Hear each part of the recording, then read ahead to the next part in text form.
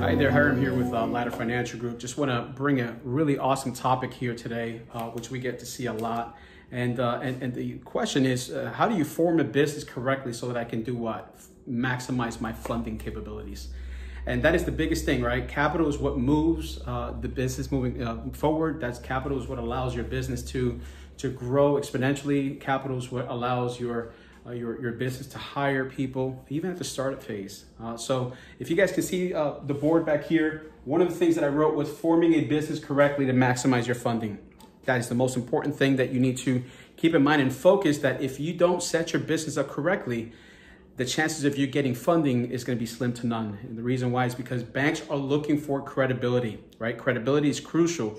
If your credibility is not on point, banks think that you're a hobby just like sole props. Uh, you know, sole prop is one of those things that we uh, we try to do so that we can immediately get out there and, and put our name out there, print out some business cards, some flyers, and get the business going so that we can start generating some money. But that is the biggest mistake that you can do because a sole prop is actually an extension of your social security, right? So the first thing you want to do is I, I is actually do your research. Pick a name. So picking a name is so important because there's so many things that tie up into the name, right?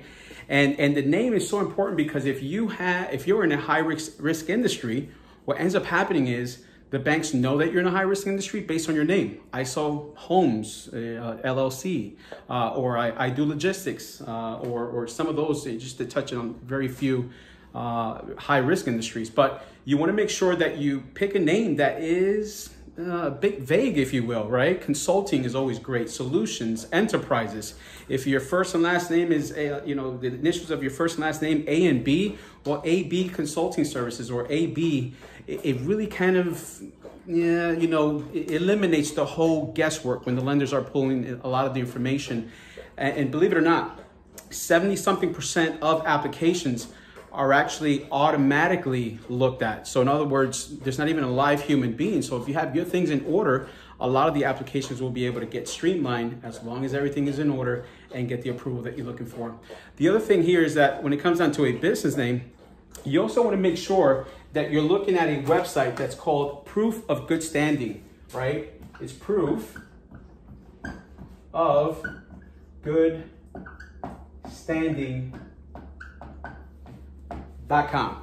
Okay. Now, these are one of the, the most famous, popular uh, websites that the banks use to determine if you've been that, that long in business. That's why, and this is another, this is another uh, live that I'm going to do on Shelf Corps, right? A lot of people try to buy Shelf Corps because the, the that business has been established or the EIN has been established for five years.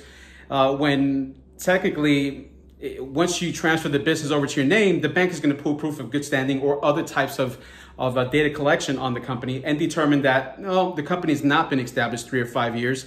That actually the, the, the business has been established the moment that you transferred money, you bought the Shelf Corporation, then you established a new bank account in that business name. So totally different thing. But you also want to make sure that you go a proof of good standing because if AB, uh, you know, uh, solutions or enterprise or whatever you want to name your business, in your state, somebody had that same business name maybe two, three, ten years ago, and they had a bad reputation or they closed down, it just looks really bad on you, right? You basically had the same name as that company that had bad reviews and, and it didn't go well. So crucial, it's very crucial that you look at proofofgoodstandings.com to get that data from your state. Basically, it's real simple. You go to proofofgoodstanding.com, you pick your state, and then that information will come over so that you can, you know, see what if your name is is, is in that directory, right? The second thing you want to do here is uh, pick an entity. It is so important for you to pick an entity that is not a sole proprietorship. Again, if you want to take on the whole lending part of it and, and, and attach it to your personal credit, that's okay. Go do sole prop. However, if you are going to establish a business and you don't want to tie your business with your personal, right? Because your assets should not be uh, combined with your, your business assets, then obviously you want to make sure that you have an LLC, uh, an S Corp, a C Corp, uh, so on and so forth.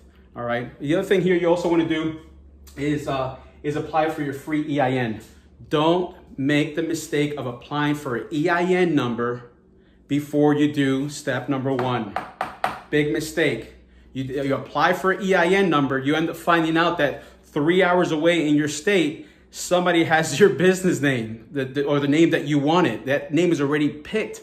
So you don't want to have to go then fill out an amendment with the with the uh, the, the, IRS and then have to don't go and change uh, the, your business name or whatever it is, right? So you want to make sure you don't do the mistake of, of, of getting that EIN before the state actually approves your disregarded entity, okay? And then step number four, apply for your, your DUNS number. A lot of people will go ahead and do this, try to do the same exact thing. Dun and Bradstreet, right? AKA Dun and Bradstreet, AKA Paydex. This is how you're going to be able, when you apply for business loans, this is what the those lenders are going to report to, which is Dun and Bradstreet, okay? So once you have step number one, step number two, step number three done, you're gonna go to Dun Bradstreet's uh, uh, website and apply for your DUNS number, right? Because guess what? You need to have some sort of uh, business credit reporting to your Dun Bradstreet number. Okay, so it's crucial. And then of course, number five is my favorite. Call us for startup funding. We are the alternative and creative pioneer in lending. We are the pioneer when it comes down to that. We know what it is to start a business. We know what it is to scale the business. We know the bell curve of when you start up to how you're how you're creating a, a tremendous amount of money and then your exit strategy and what it takes to get there. So, of course, make sure you don't do, do the mistakes that a lot of business owners do.